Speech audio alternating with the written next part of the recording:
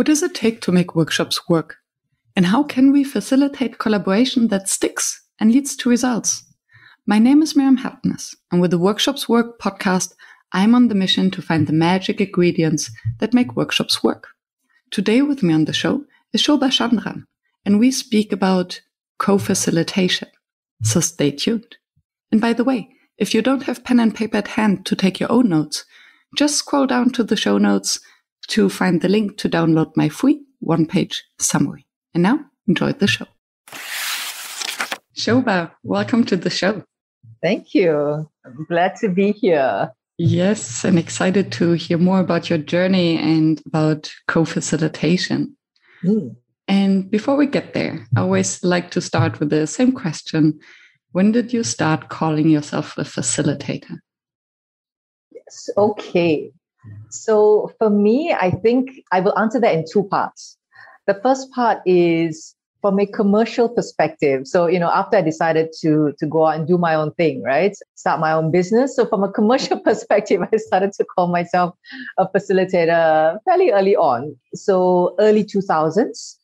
But I think if I were to give you a deeper or possibly more meaningful answer, I think I felt I earned that maybe 10 years after 10 more years of practice mm-hmm. to say, yes, yes, I facilitate and I'm a facilitator. That's what made the shift? I think, you know, when you start out, you know, there is the saying, ignorance is bliss, and you don't know what you don't know. So, you know, you can call yourself anything, which I did. But I think after a while, as, as I got deeper and deeper into, you know, facilitation, like many other skill sets, can be considered just a skill set. It can be considered a practice if you go deeper, a philosophy, a way of being, etc. Mm. So I think for me, as I started to appreciate what that means, I, I truly started to understand it really at a more deep level. I think then I feel like I earned that right after 10 years of practice. So so that's that's why I'm making that distinction. Thank you for sharing that. And um, I like how you highlight all the different aspects of facilitation. And I truly believe that it's more of a life skill at the mm. end of the day that everyone can, must learn. But then facilitation as a profession is something different. And. I find it interesting that you that these 10 years were just growing into the practice and not just getting certificates. I think mm. that's an interesting fact. Mm, mm. Because I think for some, they then start calling themselves facilitators once they got the stamp and their, their certificate yes yes well like i said i called myself one very quickly too but you know it's it's different right yeah but, yeah. but if you've really earned it yeah so. and before you started your solo business as mm. a hmm. facilitator you're already mm. facilitated yes starting to yes yes and i uh, remember that in our exploration call mm-hmm. you shared a story where you worked at the ministry of defense yes enabling innovation. Yes. And I would love you to share the story because mm. I think it's fascinating to hear how how with the skills of a facilitator you can enable a culture of innovation mm. within an organization that is usually I think considered as a command and control environment. Mm. Yes. Yeah, that, and that's a great story and and I think, you know, much respect to the, the Singapore government, they have been very, very forward looking on quite a number uh, of areas. And so this, you know, we have to rewind time really back to the really early 2000s. Uh, my journey started specifically in 2002, but they, they had started the, the promoting the idea, you know, you must innovate, you must innovate. And the, what is interesting about the Singapore government is that they do have a very strong influence on both the government sector as well as the private sector. Mm. Uh, um, so, so this this sort of you know you must innovate for sure. Uh, the government sector picked up the you know the baton, so to speak, and said, okay, so we need to innovate. What does that mean for us? So I give you a quick backstory to that. So they they did set up headcount to fill people to uh, uh, so specifically within the Ministry of Defense to put together a team of professionals that would drive innovation efforts within the ministry itself. So when we were put together, we we were new. We were new. Innovation as a uh, commercial discipline was new to mm-hmm. Singapore. Globally, it was not new, but for Singapore, it's definitely new uh, at that time. So, one of the questions we had to ask ourselves is what is our role in the Ministry of Defense? You know, our purpose. And as we, you know, grew to understand, it really was to help the ministry evolve. To be fair to the, to the Ministry of Defense, at that time already, you are right to say that yes, the, there is an element of command and control because they are a military organization. Uh, but at the same time, they were evolving, they were transforming already. So our role, I think, was really to accelerate and support that transformation. So to look out into the world, uh, to see what is out there, you know, that we can bring in tools, techniques, uh, processes, methodologies that would help accelerate that. And, mm. and innovation as a, uh, sorry, not just innovation, but facilitation as a practice, as a skill set was something that we, in a sense, discovered uh, uh, that we, and, and we realized we wanted to bring in uh, to the military to accelerate the transformation efforts. What aspects of facilitation then was that? Mm. So, how did yeah. you spread this skill set and mindset? Mm, mm, great question. So the idea was, you know, one of the things that we that that our team was very very mindful mindful of was the fact that we're uh, apart from uh, our team leader who's male, the rest of us just happen to not be right. So so we don't have military training, and so we were asking ourselves the genuine question: Who are we to go to a unit, a military unit, and tell them how to run their business, tell them how to innovate? So when we came across uh, facilitation as a practice, as a skill set, you know, and we're starting to understand it. Uh, um, you know, our, our basic understanding at the time was, you know, facilitation is essentially creating the right environment for people to have good conversations and, and to allow them to figure things out for themselves in a safe space, in a protected space where we provide a strong process and they come in with the content. So that's that's mm-hmm. really where you know we started and we said, yeah, I think this is a great practice for us to adopt. Yeah. I find this fascinating. And mm. allow me one more question. Please, um, please. So, how did you facilitate this shift in perspective? This, mm. Mm. how did you break the command and control? Or maybe you didn't have to. I think, like, like I said, to be fair, um, when we were speaking with the, the unit commanders and the leaders, there was an element of hierarchy and respect for rank, but I never I never sense, and this is me being female, not being part of the the, the military culture. I never did national service as, as a as a female. All males have to do that in Singapore. So I never I never felt that. I felt that the, the leaders were very open to ideas.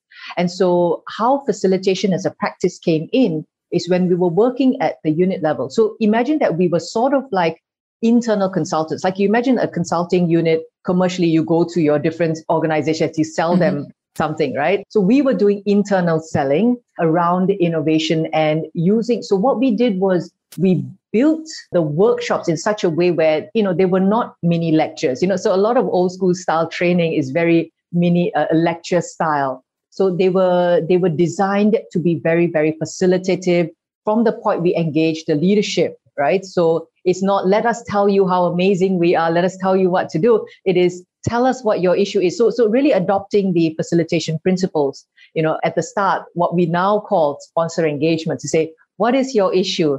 How can we help? And then sort of trying to design something that would help them. And every workshop that we would offer them subsequently was designed in a facilitative style. I hope that helps. Absolutely. Yeah. Thank you for clarifying that. Yeah. So, what were your key learnings as a facilitator from this period? So many. Okay, let me think. well, you know, speaking of uh, linking to possibly our main topic for today about the power of co-facilitation. Actually, mm-hmm. one one of them was that because naturally, because we worked as a team, we did not work alone. So that's one thing. The other thing I think that that stood out really strongly for me was that mindset shift between the, the more traditional, I'm coming in as a subject matter expert, let me tell you. So the more advocacy style, I tell you, versus the more inquiry style, which is more facilitative process facilitation to say, let me ask you rather than me telling you. So I think that for, for us, the internal consultants, as well as the people we were providing the services to, was a big shift because for them, they, there was also an element of tell us. Mm. Uh, so they said, no, we cannot tell you because we do not know your business the way you know your business. So I thought that was quite a, a lovely whole evolution from both the service provider, us, mm. as well as the client in, in sort of dealing with this new thing called a facilitation. Yeah, I like that how you phrase it from the tell us to ask us. Ask us. Yeah. yeah. Beautiful. And I can imagine that this then slowly changes the entire culture or brings a new facet into the culture of hierarchy, command and control to inquiry. Yes, yes. So at, at the time, again, like I said, at, at the time, they were already, the, the ministry was already very much into the learning organization mm. uh, as, a, as a philosophy and a uh, um, also a, a culture. So what we were doing was accelerating that. Yeah, accelerating the adoption of that. Beautiful. Hmm. As you mentioned, the co-facilitation aspect, the teamwork yep. aspect of this project. Yep. Mm. What does co-facilitation or teamwork in the facilitation process mean to you? Because mm. I realized that when we say co-facilitation, we often mean different things. That can yes. be either someone just being in charge of the logistics and mm, yes. the tech hosting in these days, but back in the days, maybe doing the flip charts or a graphic exactly. recorder or someone who co-designs with you exactly exactly okay so so i will share with you my definition and then we'll take it from there because i do have again certain distinctions and then yeah. you pick up and see what's what's most interesting for you so one of the things that myself and my associate somebody that i do co-facilitate and work with a lot we started to define it because there was also a commercial element to that so we started to define, you know, what is the role of a facilitator or in the running of the workshop, what are the various roles mm. that need to be played? So obviously one of the roles is just logistics support.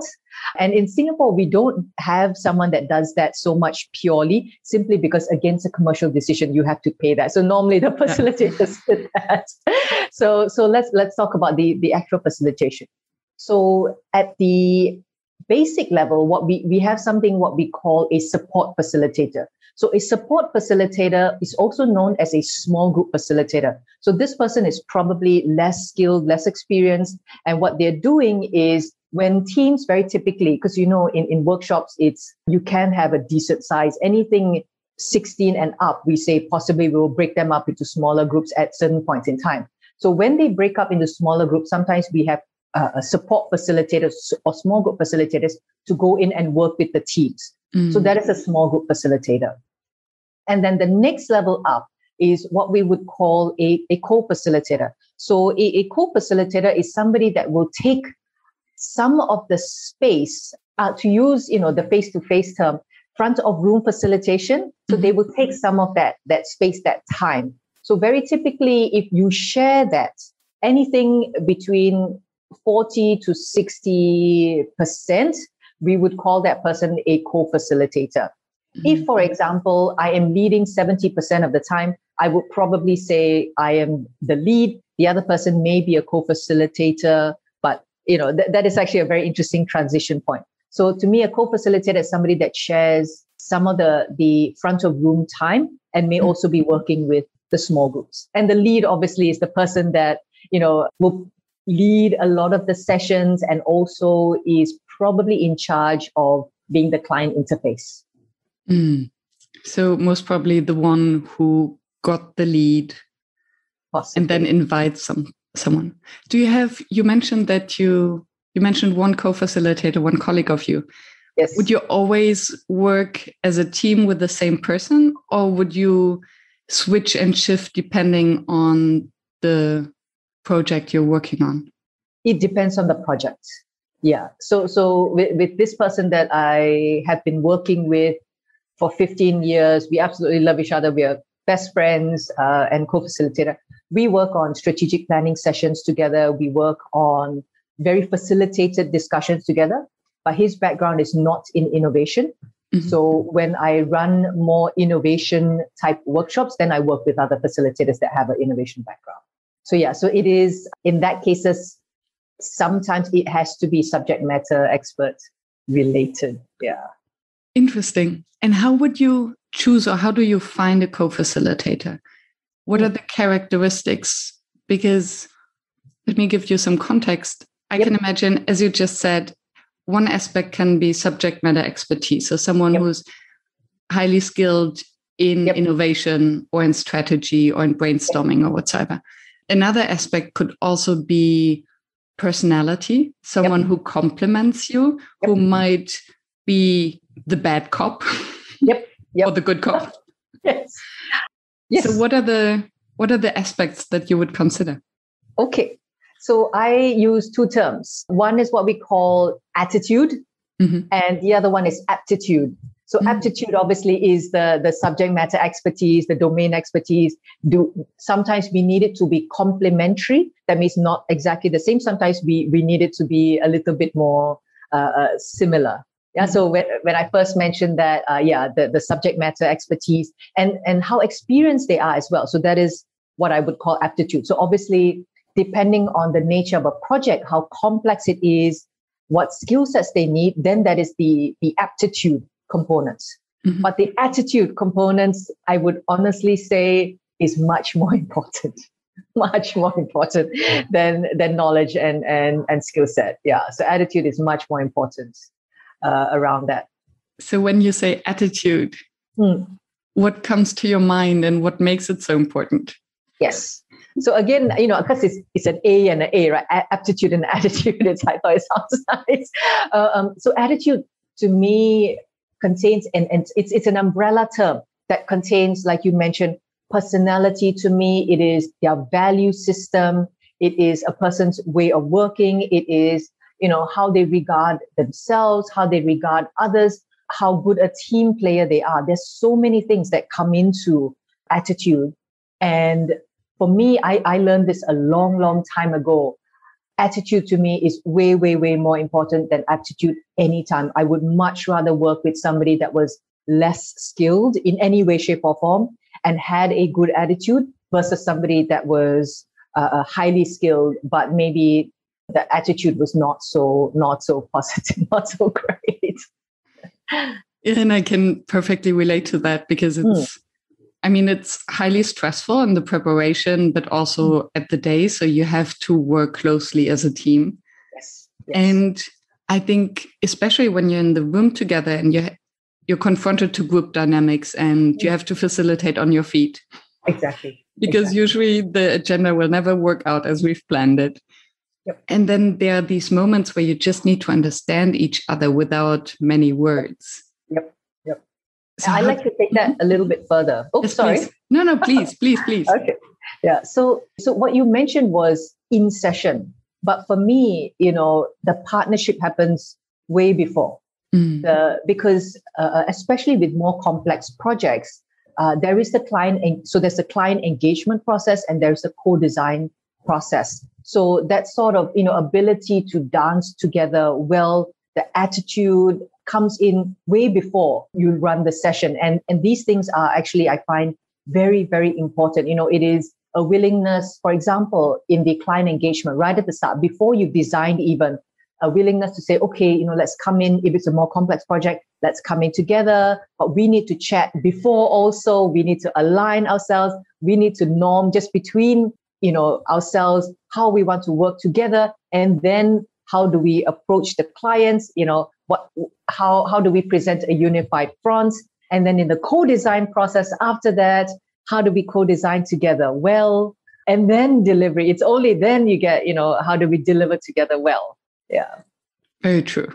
Very true. And the co-design i think if you work well with a co-facilitator or any peer in this co-design process it is just so much faster to design an agenda and you have these yes and games mm. almost. Yes. Oh, yes, and do, let's do this. Yes, and yeah. let's add that. So that it's much faster and also much more effective, I think. Yes. I, I would admit that sometimes it gets slower and sometimes it can be quite hair pulling, even with people that I work with well and know well. But mm. I, I don't have an issue with that because for me, if we know that uh, we, we have normed and our values are aligned, the process can slow down. But I know ultimately that we will create a superior product. And that mm-hmm. is what is more important. I'm actually okay with something that can potentially take longer. Sometimes it is faster, but sometimes it can take longer. Yeah, and this is maybe also where the complementary then comes in. Mm. So, someone who sees aspects and has a different perspective that you might argue yes. about, but then at least you have discussed it and considered it. Yes. Yes. So, so what are some of the glitches that come to your mind when aligning or co-designing with a with a colleague?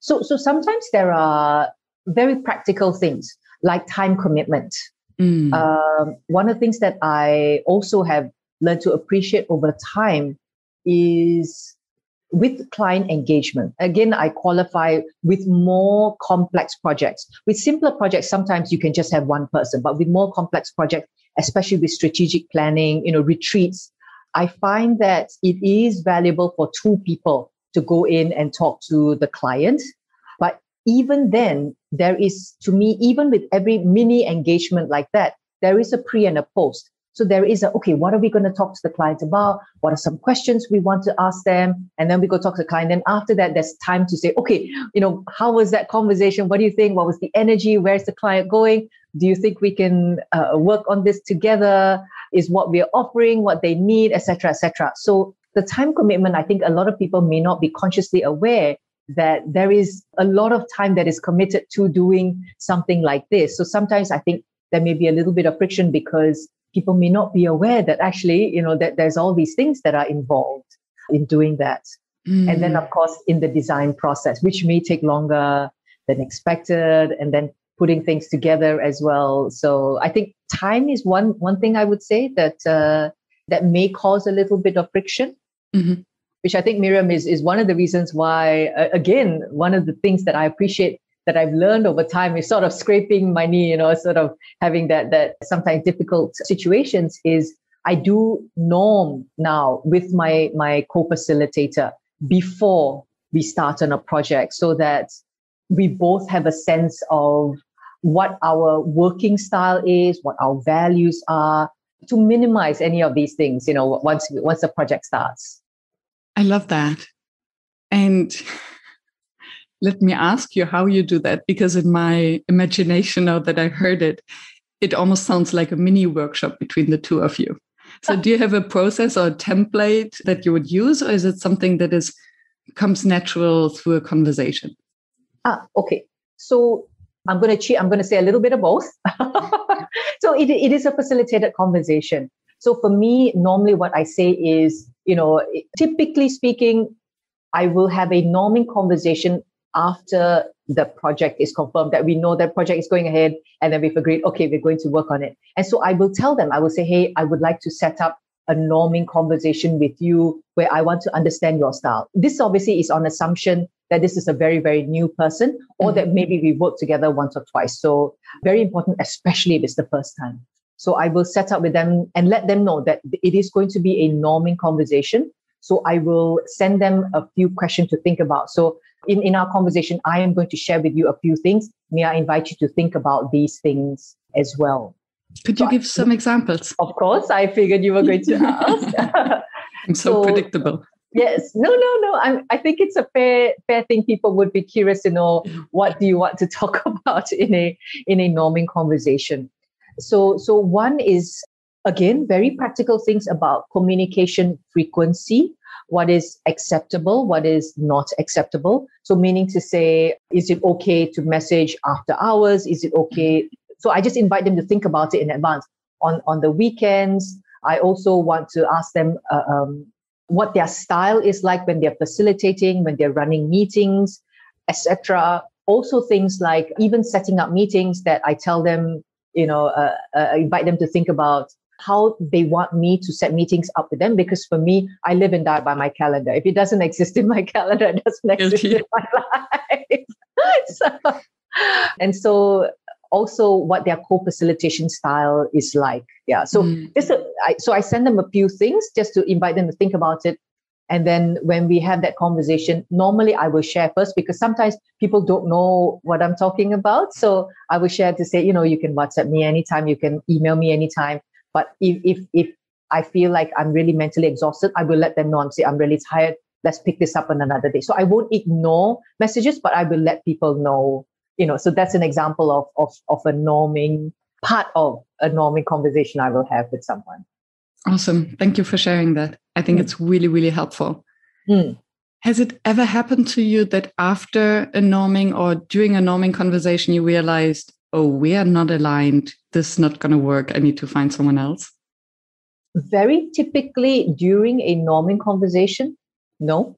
Mm-hmm. Because people are normally quite excited. This is sort of like almost the first date or, the, you know, the job interview almost, where people are like, yeah, sure, everything's fine. so, so, so typically, no. So how I try and hit that off, I think is the good thing is, you know, in, in any industry, if you've been in it long enough, you start to get to know the community. And even if you do not, you may know people who know them. Mm-hmm. So normally what I try and do to hit that off is if I know of the person, let's say I don't know them personally, I've never worked with them before, I will try and find out if we have any co-facilitators trainers in common and I may ask them if I know that they've worked with them together just to understand, get a sense of their working style. So I try and uh, uh, anticipate that in advance. But yeah, during the norming conversation, normally people are like, yeah, sure, that's everything's all good. Yeah. A simple deck of cards can be a brilliant way to engage a group. You can use them to stimulate thought, inject energy, or spark lively conversations. But how can you use cards when you're facilitating virtually? Deckhive.com is a brand new platform that enables you to use cards on screen just as you would face to face. Invite people to a shared real time session and then let them select, move, and flip cards over. Our growing library includes many popular card decks, including picture cards, strengths cards, emotion cards, and more. But if we don't have what you need, you can even create your own deck really easily. Use the code WORKSHOPSWORK when you subscribe to a paid monthly plan, and you'll get the first month completely free. Go to deckhive.com and give it a try. Often, when we think of team dynamics, Hmm. after the norming, then there comes the excitement, and then there comes the storming. Yes. Is this yes. something that also happens with co-facilitators in such a constellation? yeah i think you know in in all the the years that i have done it and so this is again with me being more experienced i think i look back at the time when i was less experienced i say well i myself was less experienced so you know i i, I probably had a lot of maybe dysfunctional behaviors myself over time i've managed that i think there's only one or two that stand out for me that that didn't work well and that that i walked away a little bit disappointed with the, the co-facilitation. But generally speaking, I find it has worked. Mhm. Would a story help I, uh, that uh, in a time where it didn't work so well? If you feel comfortable sharing. Oh yeah, yeah, yeah. I mean, I don't name names, so it's all good. I think one one that stands out for me was it was one particular project where this was actually an associate won the project, and so this was one of those rare times where I was the lead, but not the one that won the project. So an associate won the project. Uh, he handed it uh, to me to to lead, and I said, "That's that's great." And so I went to look for somebody that I worked with some time ago, right? And then you know what happens? The cardinal rule: I did not norm with them. See, there you go. Mistake number one that I made because it had been a very long time that we had worked together. Uh, so I did not norm with them, and and so one of the things that you know happens as as we know client says okay we want this date and, and they had booked the date but they said look we cannot confirm until very much closer. I mean it's quite unfortunately you know it happens. Mhm. and so when the client finally confirmed uh, the date the co-facilitator uh, said to me oh i'm sorry I, I can't do one of those dates because I'm committed for something else. And so this was actually quite upsetting to both myself and, and my teammate who won the project because, you know, he had sent the reminder several times, look, hold the date, hold the date, please. And why that upset me was because what that meant is for this particular workshop, what that essentially it needed two people. That that is that was a given. So what we would need to do is to have like sort of myself and person A, facilitator A, and then on the second day, myself and facilitator B to come mm-hmm. on board because my teammate, the one who won the project, could not be there because otherwise we would we would have just said, look, you know, we'll take over. And we asked a few people uh, to see whether they could do both days, but we could not because it was it was relatively close to the date already.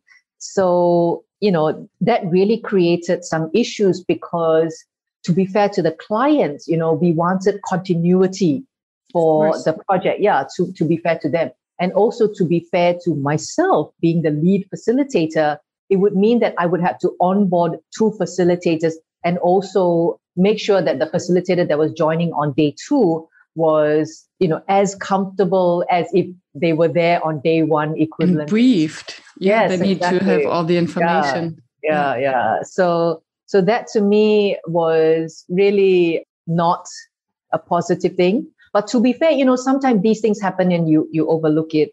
And then I also mentioned, oh, by the way, you know, on day two, because this this lady was actually going to be there on day two, not day one. So day one was was my my teammate. So on day two, you know, we we said, okay, you know, I, it was off the cuff. And I said, you know, just just remember that we're, we're going to do a debrief after. And then she said, oh, you know, uh, but I had something on after that. And so again, I said, you know, that was the second strike was, okay, this is, unfortunately, we're done. I don't think we can ever work together again because neither of us is a new facilitator. We all know, you, we all know you always do a briefing and you always do a debriefing. So I, I was really, so this to me was an attitude issue. Uh, yeah. It was not skill set because she was brought on board because of her skill set. So I, you know, it, w- it was quite disappointing because I liked her and I wanted to work with her again. Mm. But this is not somebody that I would work with again because of that. Yeah, unfortunately. And thank you for sharing that. I mm. think we we learn almost most from from these experiences. And what. I hear are two things. One is never skip the norming. yes. and be be aware of timings and and these kind of communication to align. Yeah. Yeah. And the other one that I hear is the importance of this to be aware of the responsibility that we are mm-hmm. carrying. So yes. when yes. we facilitate, we're there, we're in service of the group. Absolutely. And then this must be the priority. And then if we shuffle it in between other commitments and don't make time for briefing and debriefing, it's as if we're letting the group down. Absolutely. Absolutely. Yeah. Very interesting. Thank you for saying that. That was beautifully, beautifully summarized. and you mentioned your early days as a facilitator, where mm. you would um, rather join as a co facilitator to support someone else. And I recently launched a survey mm. where I asked um, facilitators about their weights, about pricing, all these kind of things. And yes, one aspect, yes, very Great. interesting results. I must say. And one aspect was co facilitation. Mm. And what I found striking, maybe not so striking, because if I look in the mirror, I would the same, that mm-hmm. the early days facilitators work mostly by themselves. Mm. And I wonder whether where this comes from and would be curious mm. about your perspective because I can see two reasons or two ways to look at it. One is confidence. So when mm. I'm a young mm-hmm. facilitator mm-hmm. and I just want a client, maybe I don't want to expose my insecurities, so I better mm. do it by myself. And the other one I can imagine is that in the early days when we self-select to become facilitators, freelancers or solo solopreneurs, mm. maybe we see ourselves as these lone wolves and not mm. as team players. Mm. But maybe you have a different perspective. Mm. Mm. So I will speak based on my experience in Singapore around that. And so what is interesting is so facilitation as a again as a practice philosophy etc in singapore by now it's not new but when it you know started to come into singapore relatively speaking, it is much newer compared to where you are in Europe, and definitely much much newer compared to the U the US. Oh yes. Oh yes. So what I thought was, it what happened in Singapore was really lovely. It was the peop- the pioneers. They were trying to start a community of facilitators from the start, actually. Mm-hmm. And so the people that started to do facilitator training in Singapore, so they try they, they they tried to create communities of practice. And so when they got projects, they try to give opportunity to newer facilitators. I was one of them. And I also did a, a, a, lot of work for free, right? So I would work with it and I was more than happy to do that. And this was really, I would say, is not exploitation because the market at the time, uh, there were projects when we could be paid, we were paid. And when the market could not bear it, the, the commercial, because it was a small project, it was, you know, my senior facility, my seniors were, were quite upfront about it. So I would go and do projects for free, and I was more than happy to do that. So the training. I, yes, yes, mm-hmm. I find that my experience here, you know, because I was here when when facilitation sort of uh, uh, as a practice started to grow, and I, I know the people that really, you know, we can say brought it into Singapore, so to speak. I, I, I think here many of us appreciated the opportunity to work with the seniors and the mm-hmm. seniors gave us opportunities uh, to do so so i think here it is actually quite different. I think many of us did have the chance to learn with others from others, actually. Yeah. So, would this then mean that in Singapore you have more of a culture of co facilitation? I would say. If you grow up um, with it? Mm, okay, I would say yes, but I caveat that. So, two things. One is does the project from a commercial perspective allow for that? Mm-hmm. People will do it people will. And I think many of us, myself included, because we were so appreciative of what was, in a sense, the opportunities that were afforded to us, were given to us, we want to give that to others. So for me, in my work, I try and do the same myself, right? So if there are opportunities where, let's say, the project is simpler or the budget is smaller so i can't pay somebody. I may pay them like for example $100 this is just to cover transport etc mm-hmm. right? To say look this is for you to learn for you to observe for you to be do maybe small group facilitation and i give opportunities to other people. And whenever possible when the project can bear it i will get a co-facilitator actually. Mm-hmm. yeah. Yeah. Wonderful. What mm. would be your advice to a early early days facilitator how mm. to hmm. approach co-facilitation or mm. the first project in general so do you mean from a skill like a skill set perspective or, or, yeah someone who just started calling themselves facilitator okay who okay. might who might be timid to reach out to a co-facilitator or don't know why they would need it mm. what would be your hmm, advice hmm, okay okay well so I think the advice would be look for opportunities. I would say be hungry because our, you know, our profession, similar to pretty much every other profession, I think really is about portfolio, right? It is about what work have you done? And when you're new, that is very, very tough. So if a person is comes into the space and they're in an organization where maybe they have co-trainers or co-facilitators, then I would say just go ask ask and look for those opportunities and ask for somebody to co-facilitate with you. So if, if you're in an organization, right? Because then there isn't the issue of, of uh, will the market bear it? There's, there's no talk of money, thankfully, right? But if they're on their own, they're started out, then I would say get connected to communities because there are communities all around the world now, right? There, there are facilitator communities. So go and find out. And very often, like especially what happens in Singapore, there are people that train and there, there are trainer trainer trainer facilitator mm. program and a lot of these organizations do actually have communities themselves because they know that people starting out do need help do need support. So go reach out to them and manage your own ego. Yeah just swallow your pride and ask for help i think i would say. That's how i would say. And and you'd be surprised i think at the willingness for the community to step out and, and help people. Yeah. yeah absolutely. I mean i'm building myself a community of facilitators was never done before. Yeah. And the willingness to support each other and to be there and to learn from and with each other is just amazing. And I mm. think it's maybe also in our nature as facilitators. We're giving so much to these groups. so that if we find our own crowd, it comes natural. Yeah.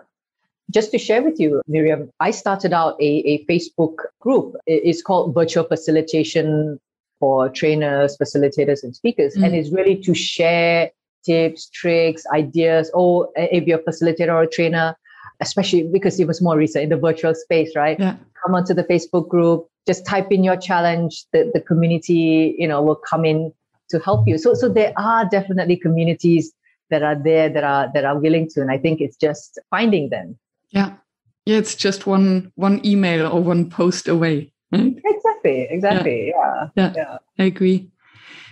And what is your experience or opinion regarding co-facilitating with someone from the client side? Mm. How interesting. A little bit scary, I would say. what makes and, you say that? Mm-hmm. Yes, yes. so so the reason for for that is one of the advantages we know of being a third party is neutrality right? We we don't have an agenda. We're not we're not going to push anything for the organization. We have a role you know we talk to the client we say what are your objectives? And and that's what we go we go after. So the it is very challenging for a person that is working within an organization to be neutral unless they are very very skilled themselves. And mm. to be mm. fair there are uh, but what i have found is that that level of neutrality in organization, it is just tough. It is just yeah. tough. So I would say scary in that sense because unintentionally they might drive the conversation in a certain way. Yeah. And and and you know participants are very smart. They pick that up very quickly, yes. very easily. So yeah, that's why I said a little bit scary. And I love the way how you frame the concept of neutrality because neutrality can be an entire conversation separate mm-hmm. conversation mm-hmm. the way how i understand you use the term means the absence of an agenda or the absence of a specific desired outcome yes so again we have to qualify that because you know part of the running a workshop is you get clarity on the outcome which by default we, we know is supposed to be neutral, right? Mm-hmm. Uh, it is to, to achieve an organizational goal or a team goal, but not a specific solution. Yes. Yeah. And yes. a client might be intentionally or unintentionally driving a specific solution yeah. that they might want. Yeah. Very good point. Thank you. In your experience, what makes a workshop fail? Mm. Well, that is pretty much what will make a workshop fail actually. Mm-hmm. i came across the term many years ago. It was introduced to me. It is called facipulation you may or may not have heard of it. Mm-hmm. facilitation plus manipulation equals facipulation so this is when you are pretending to be neutral and pretending to facilitate but you're actually manipulating because you want a specific outcome or you want a, a specific uh, a solution so, what I have found, and this is something I do look out for, especially at the start when we're engaging with clients, are they really committed to a, of course, there will be workshop objectives, but do they want a specific outcome and they want to pretend that they're having a conversation, but at the end, everyone should land at the outcome? So, that's and of workshop. Oh, yes, that's mm-hmm. one of the things I'm always looking out for, and I'm very, very careful about that because I know that is what will make a workshop fail. That mm. to me mm. would be my number one thing. And I have actually walked away from projects when, uh, and but to be fair, there are very few and far between. But I've walked away from projects when I sense that because I am fortunate in the sense that I run my own business, so I can make those kind of decisions. I go, no, I, I, I don't want to do that. Yeah. Which is also a question of integrity, right? Yeah. As a yeah. as a facilitator, if we walk into the room with basically the promise that every voice is, is heard and everyone can contribute to the solution. Mm. And then we're breaking this promise by if we know that there's a hidden agenda or a predefined yeah. outcome. Yeah. Yeah. And you said um, you walked away when you sensed that. Mm. Is it something that is always to be sensed, or is it always sometimes maybe also just outspoken by the client that they would say okay we need a workshop and this is we need this outcome. Please Ah, yes, help okay. us with that. Yes. Please facilitate that for us, not for the group, for us. yes, yes, yes, yes. Oh, absolutely. Uh, my style is I am a sensing person, so that that just creeps into my language. So yes, sometimes it is very, very clearly stated. so, so yes, when I said sense, I mean yeah, when I sense it or when it is clearly stated, Okay. and sometimes it is clearly, quite clearly stated. Actually, yes. So And maybe you have one or two hints. So what are the the red flags we can look out for mm, great question.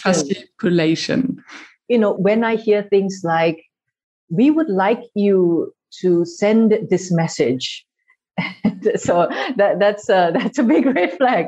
And so normally I try and, you know, there have been times, to be fair to clients, they may not be aware that they are manipulated. And sometimes people can be invited to see a different option. So, you know, when, when they say something like that, we would like this message to be sent, you know, I give them the, the permission to say, you know, in a workshop, you can say in some situations, this section is non negotiable, Mhm. right? And there's nothing wrong with that to say, for example, the strategic direction or, or the strategic pillars have been decided on, right? That's okay to say that. But how we get there, that's open for discussion. So sometimes you can help a client see that it is okay to put some non negotiables up and then to frame the conversation around those are the negotiables, right? Mm. That's okay. But sometimes when you present that to them, but then they still come back to you and sort of say, no, no, we want to have a conversation about these things. But, you know, we want everybody to, in the end, still agree with what we want to go. And, and, then I go, oh, no, no. that is definitely a manipulation happening or facipulation happening. So, no, yeah, that's a no for me. Yeah. Ah, thank you for sharing that. I think that's Yeah. very helpful just to be aware. Yeah. I hope that clarified things. Yeah. Absolutely. Do you have a favorite exercise? So, if I may answer that in a slightly different way, because I don't, but I do have something that I do like to do at the start of workshops. Mhm. So, you know, at the start of workshop, one of the things that we very typically do when we open session, obviously, we have the agenda, we're setting the context and the whys. You know, check-ins or icebreakers are a very typical or standard part of that. So, one of the things that I like to do is I like to do what I call purposeful icebreakers or purposeful uh, check-ins. Mhm. So why I introduce the word purposeful, it is relating to the purpose of the workshop. So it's not just an icebreaker, it's not just a neutral check-in, but I try and design it in such a way that it links to the purpose and the objectives of the workshops. I can Mhm. give you an example if that Yes, helps. please. Yes. Okay. We love So- examples. Yes. All right. So so there was one workshop that I was facilitating. So this client, they own and operate buildings, Mhm. right? And these buildings are spread out geographically speaking. So so it, it's a, a big country, and so uh, different different parts of of uh, the country, different parts of the state. So this particular workshop, we were coming together to discuss these buildings, some of which are new, right? So they're newer, some more modern, etc. Some of these buildings which are sort of medium age, they're still okay, and some of them which were older. Mhm. And the purpose of the workshop was actually to look at these buildings and to say, should we, you know, continue to operate these buildings in this particular area with other things in mind. Obviously, one of them obviously was the age of the building itself. The other thing is population trends. Are people moving in, moving out? Mm. What is the potential client uh, usage, right? So all these things being involved. And of course, the human element, because if we close anything down, then staff that are working there will be impacted. So from a client perspective, they'll be impacted. From a staff perspective, they'll be impacted. So for this particular check-in, so I, I said, okay, so for this particular check-in, what you're all going to do is to find one person, right? So they, they were working in pairs. And so with this one person, what you're going to do is you're going to share with them what your first house growing up looked like. Okay. So that is part one. Mhm. Part two is let's say tomorrow you had to, or, or tomorrow you were deciding to move back into your childhood home.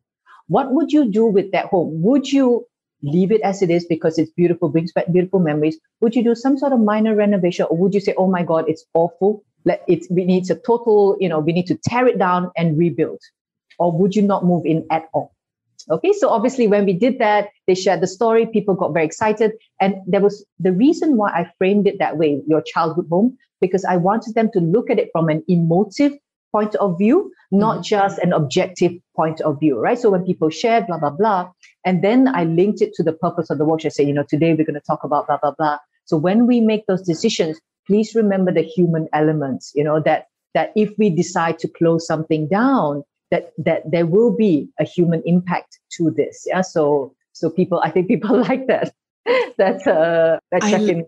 Yeah. i love it. I love it on so many levels because as you said the childhood memory also creates excitement and emotions. So it creates this bond and curiosity. Mm. we expose our private side so it makes us a little bit more vulnerable. Yes, yes and yes. it's meaningful. Yep. Yeah. So that's what i mean by a purposeful, purposeful. icebreaker or purposeful check-in. Yeah. Wonderful. Thank you so much for sharing that. Very inspiring. Thank you. Mm. Since we're approaching the end mm. and you have shared so many nuggets mm. but is there anything that is on your mind that you would like to share with the audience that we haven't touched upon yet? I think if if if I may close with this, you know, if sometimes it serves repeating even to myself. I would say as, as facilitators, I think it is an important practice to eat our own medicine. Mm. If we say that we should open sessions well, we should norm, we should do check-ins, etc we should do that with our co-facilitators as well. Like the little check-in we did right at the start of our conversation, right? Just check in with each other. Or if you're going to work together, norm, right? We shouldn't just be doing it to other people, doing it to other teams. If we truly see the value of it, we should be doing it to ourselves as well. I think that's that's what I like to, you know, leave us with. Wonderful. Which is the answer to the question that I usually ask is if hmm. someone missed the show and doesn't have time to listen to the entire conversation, what would you like them to remember? So I think that was a beautiful answer that to that. Yeah, that would be it pretty much. Yeah. Thank you so much for your time and for your openness to share your experience. I really enjoyed it. And I will put um, your contact details in the show notes. So whoever wants to reach out, connect, learn more with or from mm. you or hire you, they will find you. Perfect. Thank you, Myriam. Thank it you. It was a lovely conversation. I really enjoyed it. Thank you. Thank you for staying tuned and listening to the show. I appreciate your attention as I know how busy you are. If you enjoyed it, please subscribe and engage by sharing your comments and thoughts, and visit workshops.work to download the one page summary. I'm looking forward to seeing you back at the next episode, and I wish you a fruitful day.